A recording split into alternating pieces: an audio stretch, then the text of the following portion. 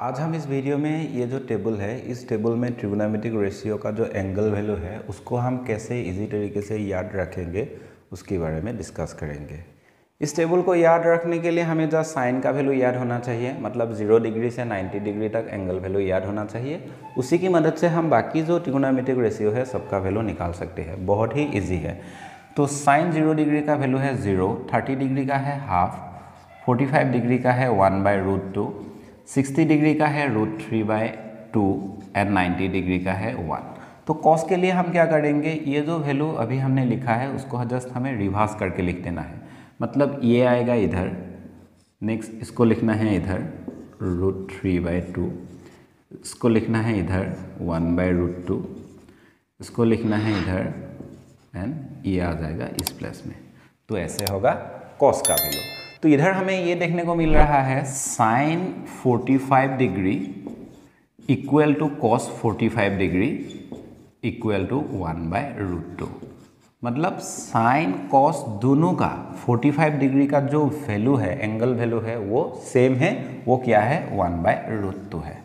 तो जस्ट हमें साइन का ये वैल्यू याद रखना है तो उसी के वैल्यू को जब हम रिवर्स कर देंगे कॉस का वैल्यू मिल जाएगा तो इसमें हम बहुत इजी से ये याद रख सकते हैं कि sine 45 degree and cos 45 degree, इन दोनों का वैल्यू सेम होगा, वो होगा वन बाई रूट टू अभी हम टेन का वैल्यू निकालना सीखेंगे।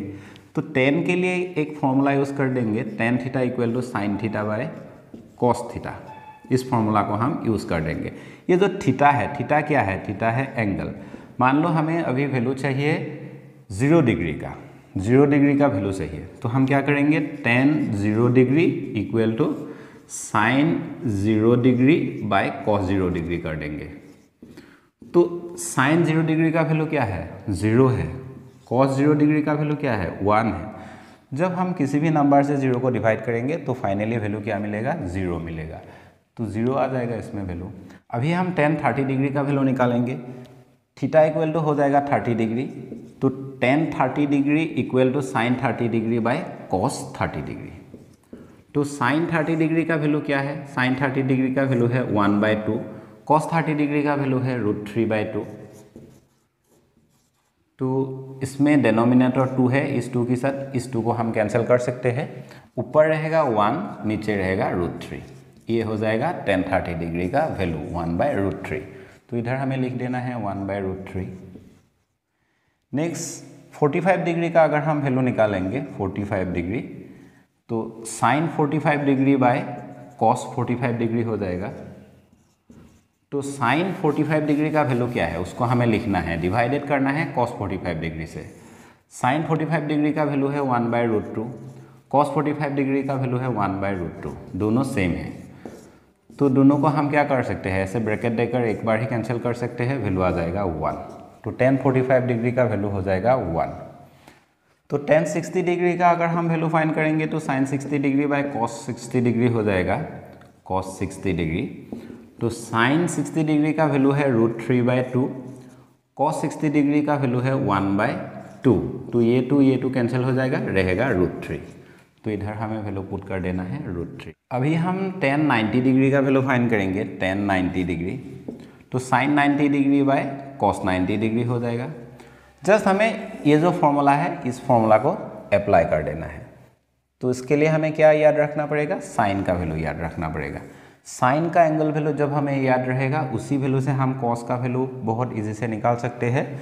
मतलब अगर हमें साइन एंड कॉस दोनों वैल्यू याद होगा तो बहुत इजी से हम बाकी सभी वैल्यू को निकाल सकते हैं। एटलीस्ट हमें साइन का एंगल वैल्यू याद रखना पड़ेगा, तब हमें बाकी जो ट्रिग्नोमेट्रिक रेशियो है, उसका एंगल वैल्यू निकालने में ईजी होगा। तो साइन 90 डिग्री का वैल्यू पुट कर देंगे, वन है कॉस 90 डिग्री का वैल्यू है ज़ीरो। ज़ीरो से हम किसी नंबर को डिवाइड नहीं कर पाएँगे तो उसका आंसर बन जाएगा एन डी मतलब नॉट डिफाइंड तो हम इसको कह सकते हैं नॉट डिफाइंड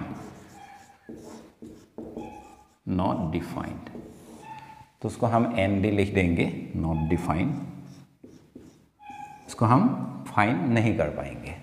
कॉट का जो एंगल वैल्यू है, उसको निकालने के लिए हम क्या कर देंगे cot theta equal to cos theta by sine theta इस फॉर्मूला को हम यूज़ कर देंगे तब हमें कॉट का सभी एंगल वैल्यू मिल जाएगा। अगर हम चाहे तो इस फॉर्मूला को भी यूज़ कर सकते हैं। अगर हम चाहे तो cot theta equal to one by tan theta इस फॉर्मूला को भी यूज़ कर सकते हैं। इन दोनों में से किसी एक को यूज़ करने से ही कॉट का सभी एंगल वैल्यू निकल के आ जाएगा। फॉर एग्ज़ाम्पल अभी हम थर्टी डिग्री का वैल्यू निकाल के देखेंगे। Cot thirty degree equal to हम क्या लिख सकते हैं? अगर हम इस फॉर्मूला को यूज़ करेंगे तो one by tan thirty degree तो वन टेन थर्टी डिग्री का वैल्यू क्या है? टेन थर्टी डिग्री का वैल्यू है वन बाय रूट थ्री तो उसको नेक्स्ट लिखेंगे तो one into root three by one तो फाइनली क्या रहेगा? रूट थ्री रहेगा। तो रूट थ्री होगा कॉट थर्टी डिग्री का वैल्यू इधर हम लिख सकते हैं रूट थ्री अगर हम चाहे तो इसको ऐसे भी समझ सकते हैं कॉट का एंगल वैल्यू निकालने के लिए हम अगर टेन का जो एंगल वैल्यू है, उसको अगर उल्टा करके लिख देंगे, तब हमें कॉट का सभी एंगल वैल्यू मिल जाएगा। फॉर एग्ज़ाम्पल कॉट का हमें 60 डिग्री एंगल वैल्यू चाहिए तो उसको उल्टा करके लिखना है। तो रूट थ्री रूट थ्री की नीचे वन है, उसको उल्टा करके लिखेंगे तो क्या होगा? वन बाय रूट थ्री हो जाएगा। यही होगा कॉट 60 डिग्री का value one by root three तो टेन एंड कॉट इन दोनों के लिए जो 45 डिग्री एंगल वैल्यू है, वो सेम ही रहेगा, वो होगा वन इसको अगर हम निकालना चाहे तो निकाल सकते हैं। For example cot 45 degree equal to one by tan forty degree तो ऊपर है वन नीचे टेन फोर्टी फाइव डिग्री का वैल्यू कितना है? वन है। तो one divided by one equal to क्या बन जाएगा? वन हो जाएगा। मतलब टेन एंड कॉट दोनों का फोर्टी फाइव डिग्री का एंगल सेम ही रहेगा। साइन एंड कॉस में 45 डिग्री का एंगल वैल्यू सेम रहेगा सेक एंड कॉसेक में 45 डिग्री का एंगल इन दोनों का सेम ही होगा। अभी हम कॉट ज़ीरो डिग्री का वैल्यू निकालेंगे, बहुत ही इजी है। Cot zero degree equal to cos zero degree by sine zero degree इस फॉर्मूला को अगर हम यूज़ करेंगे तब भी आंसर आ जाएगा। अगर हम चाहे तो cot zero degree equal to one by tan zero degree इस फॉर्मूला को यूज़ करेंगे तब भी हमें आंसर मिल जाएगा। इन दोनों में से किसी एक फॉर्मूला को यूज़ करके हम इसका वैल्यू निकाल सकते हैं। Cos zero degree equal to value है one sine zero degree equal to value है ज़ीरो तो ज़ीरो से हम किसी नंबर को डिवाइड नहीं कर पाएँगे तो ये क्या बन जाएगा? Not defined not defined same इसमें भी अगर हम सोल्व करना चाहें तो ऐसे सोल्व कर सकते हैं। ये हो गया one tan zero degree tan zero degree का वैल्यू है ज़ीरो तो ज़ीरो से हम किसी नंबर को डिवाइड नहीं कर पाएँगे तो ये बन जाएगा नॉट डिफाइन तो ऐसे भी हम सोल्व कर सकते हैं। कॉट 90 डिग्री का वैल्यू निकालेंगे। कॉट 90 डिग्री इक्वल टू हम लिख सकते हैं one by tan ninety degree one tan ninety degree का वैल्यू क्या है? एन डी मतलब नॉट डिफाइन तो नॉट डिफाइन की जगह पर हम क्या पुट कर सकते हैं? एन डी इक्वल टू हम लिख सकते हैं, ऊपर होगा नंबर्स नंबर्स आएगा नंबर्स नीचे होगा ज़ीरो तो हम लिख सकते हैं वन एन डी की जगह पर ऊपर लिख देंगे वन बाय ज़ीरो नेक्स्ट हम क्या कर सकते हैं? One into zero by one one से ज़ीरो को जब डिवाइड करेंगे, होगा ज़ीरो इंटू वन फाइनली क्या आ जाएगा? ज़ीरो आ जाएगा. तो ज़ीरो होगा कॉट नाइन्टी डिग्री का वैल्यू अभी हम सेक का एंगल वैल्यू निकालेंगे, ये बहुत ही इजी है। सेक का एंगल वैल्यू निकालने के लिए हम क्या करेंगे? कॉस का जो एंगल वैल्यू होगा, उसी को उल्टा करके सेक में लिख देंगे, तब हमें सेक का एंगल वैल्यू मिल जाएगा। फॉर एग्जांपल हमें सेक ज़ीरो डिग्री का वैल्यू चाहिए। तो हम क्या करेंगे? कॉस ज़ीरो डिग्री का जो एंगल वैल्यू है, वो कितना है? वो है वन उसको उल्टा करके लिखेंगे। तो उसके नीचे वन है मतलब वन बाय वन हो जाएगा फाइनली वन आएगा। तो सेक ज़ीरो डिग्री का वैल्यू हो जाएगा वन नेक्स्ट अगर हमें 30 डिग्री का वैल्यू निकालना है तो हम क्या करेंगे? 30 डिग्री के लिए कॉस जो 30 डिग्री वैल्यू होगा कॉस 30 डिग्री वैल्यू क्या है? कॉस 30 डिग्री का वैल्यू है रूट थ्री बाय टू उसको सेक 30 डिग्री में उल्टा करके लिख देना है टू बाय रूट थ्री ये हो जाएगा सेक 30 डिग्री का value two by root three next हम सेक 45 डिग्री का वैल्यू निकालेंगे तो कॉस 45 डिग्री का जो वैल्यू है, वो क्या है? वन बाय रूट टू है। उसको हमें सेक 45 डिग्री में उल्टा करके लिख देना है। मतलब रूट टू ऊपर होगा, नीचे वन होगा। फाइनली क्या आएगा? रूट टू आएगा। उसको हमें इधर लिख देना है रूट टू नेक्स्ट लिखना है सेक 60 डिग्री का वैल्यू तो सेक 60 डिग्री का वैल्यू निकालने के लिए हम क्या कर देंगे? कॉस 60 डिग्री का जो वैल्यू है, वो क्या है?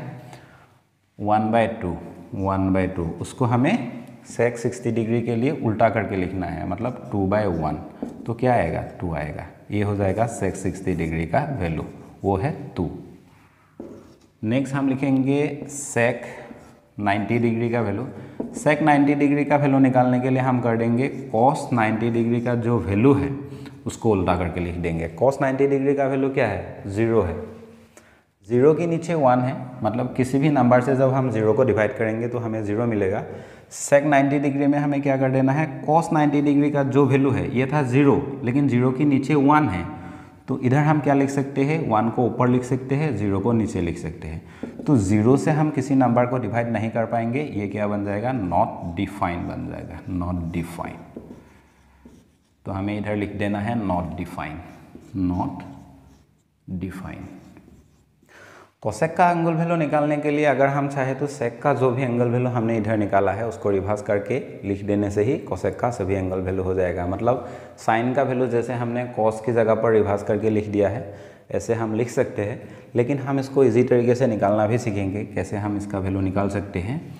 तो कोसेक का अगर हमें किसी भी एंगल वैल्यू चाहिए, तब हम क्या करेंगे? साइन का जो एंगल वैल्यू है, उसको उल्टा करके लिखेंगे। फॉर एग्ज़ाम्पल कोसेक का हमें ज़ीरो डिग्री चाहिए। तो हम क्या कर देंगे? साइन ज़ीरो डिग्री का जो वैल्यू है zero degree equal to zero है, उसको हमें इधर उल्टा करके लिखना है। तो sine zero degree equal to zero है, ये तो ज़ीरो है ज़ीरो के नीचे वन है। इधर अगर हम उल्टा करके लिखेंगे तो वन ऊपर जाएगा ज़ीरो नीचे आएगा। तो ज़ीरो से हम किसी भी नंबर को डिवाइड नहीं कर पाएँगे, ये बन जाएगा नॉट डिफाइन नॉट डिफाइन तो इधर हमें लिख देना है नॉट डिफाइन कोसेक 30 डिग्री का वैल्यू निकालेंगे। कोसेक 30 डिग्री तो उसके लिए हम देखेंगे साइन 30 डिग्री का वैल्यू कितना है। Sine 30 degree equal to value है वन बाय टू उसको जस्ट हमें उल्टा करके लिख देना है two by one two value आ जाएगा टू तो इधर लिख देना है टू नेक्स्ट हम लिखेंगे कोसेक 45 डिग्री इक्वल टू हमें लिखना है साइन 45 डिग्री का value sine 45 degree equal to one by root two तो कोसेक 45 डिग्री के लिए हम क्या करेंगे? इसको उल्टा करके लिख देंगे। तो फाइनली आ जाएगा रूट टू तो इधर हो जाएगा रूट टू अभी हमें 60 डिग्री का वैल्यू फाइन करना है कोसेक 60 डिग्री तो इस वैल्यू को फाइन करने के लिए हमें पहले साइन 60 डिग्री का वैल्यू कितना है वो जानना पड़ेगा। वो है रूट थ्री बाई टू तो कोसेक 60 डिग्री के लिए हम क्या करेंगे? इस वैल्यू को उल्टा करके लिख देंगे। टू बाई रूट थ्री हो जाएगा। ये हो गया है कोसेक 60 डिग्री का वैल्यू इधर हमें लिख देना है रूट थ्री बाई टू अभी हम कोसेक 90 डिग्री का वैल्यू फाइन करेंगे कोसेक 90 डिग्री तो कोसेक 90 डिग्री का वैल्यू फाइन करने के लिए हमें साइन 90 डिग्री का वैल्यू जानना पड़ेगा. तो साइन 90 डिग्री इक्वल टू हम जानते हैं वन ये जो वन है, उसके नीचे वन है. तो कोसेक 90 डिग्री के लिए हम क्या करेंगे उसको उल्टा करके जब लिखेंगे, ये वन ऊपर रहेगा और ऊपर का जो वन है वो नीचे रहेगा। लेकिन वन वन को जब डिवाइड करेंगे तो क्या आएगा? वन ही आएगा। तो कोसेक 90 डिग्री का वैल्यू हमें मिल जाएगा वन तो इधर हमें लिख देना है वन अगर हम चाहें तो ऐसे भी ये जो ट्रिगोनामेटिक रेशियो है cos tan cot sec cosec सभी का वैल्यू निकाल सकते हैं। ये जो टेबल है, ये टेबल आप लोगों को याद हो जाएगा। कैसे याद हो जाएगा? जब आप लोग इसके रिलेटेड क्वेश्चन को सोल्व करेंगे। ज़्यादा से ज़्यादा जब सोल्व करेंगे, तब आप लोगों को ये बहुत ही इजी से याद हो जाएगा। लेकिन जब कभी कन्फ्यूज़न आएगा कि इसका वैल्यू कितना था, जब ऐसे कन्फ्यूज़न आएगा, तब आप लोग ऐसे फॉर्मूला यूज़ करके एक बार चेक कर सकते हैं कि वो वैल्यू जो मैंने सोचा है, वो करेक्ट है या नहीं। जस्ट इसके लिए हम ऐसे समझ सकते हैं। मैंने दिखा दिया है कि कैसे हम इसका वैल्यू निकाल सकते हैं। तो आप लोग ये जो फॉर्मूला है फॉर्मूला को यूज़ करके कंफर्म कर सकते हैं। मतलब जो आपने सोचा है, वो सही है या गलत, उसको कंफर्म कर सकते हैं।